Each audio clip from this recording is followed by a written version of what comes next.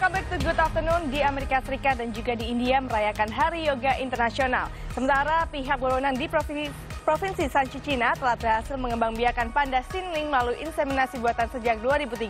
Selengkapnya dalam World in 90 Second. Panda raksasa kinling subspesies panda raksasa yang pertama kali ditemukan pada tahun 1958 menyumbang sekitar 18,5 persen dari total jumlah panda raksasa di China. Pihak berwenang di Provinsi Shanxi telah membantu panda kinling berkembang biak melalui inseminasi buatan dan pada tahun 2003, 32 panda kinling lahir dan bertahan hidup. Dari 32 panda, 11 akhirnya dilepaskan ke alam liar dan 21 tetap berada di penangkaran.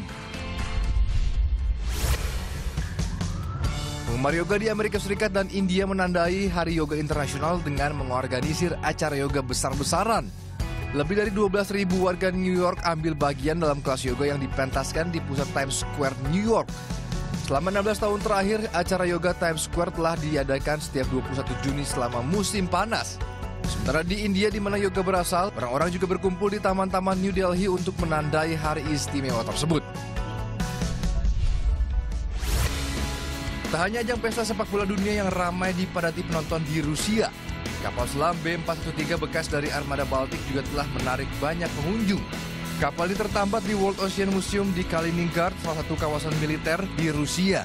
Di tempat ini pengunjung bisa melihat bagian dalam kapal selam, termasuk tentang bagaimana awaknya akan menembakkan torpedo. Menurut World Ocean Museum, lebih dari seribu orang telah mengunjungi kapal selam semenjak dimulainya pesta bola yang berlangsung di Rusia.